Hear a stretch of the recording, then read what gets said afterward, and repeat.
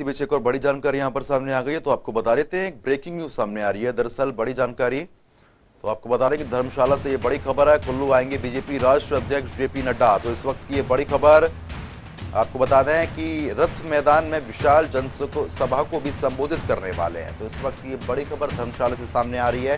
तेरह मई को राष्ट्रीय प्रशिक्षण शिविर भी है, उसमें भी शिरकत करेंगे जेपी नड्डा, अनुराग ठाकुर। प्रशिक्षण में शामिल होंगे। राहुल द्रविड़, बबीता फोगाट भी इसमें शामिल होने वाले हैं। तीन दिवसीय प्रशिक्षण के लिए तैयारियाँ तेज कर दी गई हैं। तो इस वक्त की ये बड़ी जानकारी।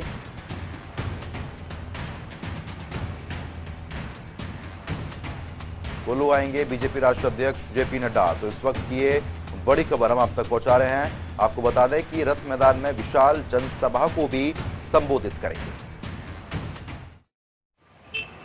भारतीय जनता पार्टी युवा मोर्चा का राष्ट्रीय कार्य समिति का सम्मेलन जो है राष्ट्रीय कार्य समिति जो है वो धर्मशाला में होने जा रही है। और ये हमारा सौभाग्य है कि राष्ट्रीय नेतृत्व ने देवभूमि के लिए इसको चयन किया है और धर्मशाला में ये कार्यक्रम ये बैठक होने वाली है। भारतीय जनता पार्टी के सम्मानित राष्ट्रीय अध्यक्ष आदरणीय जगत प्रकाश नड्डा जी इसमें विशेष रूप से रहेंगे। साथ में भारतीय जनता पार्टी के जो राष्ट्रीय संगठन महामंत्री हैं आदरणीय बी जी उनका भी मार्गदर्शन इस बैठक में मिलने वाला है।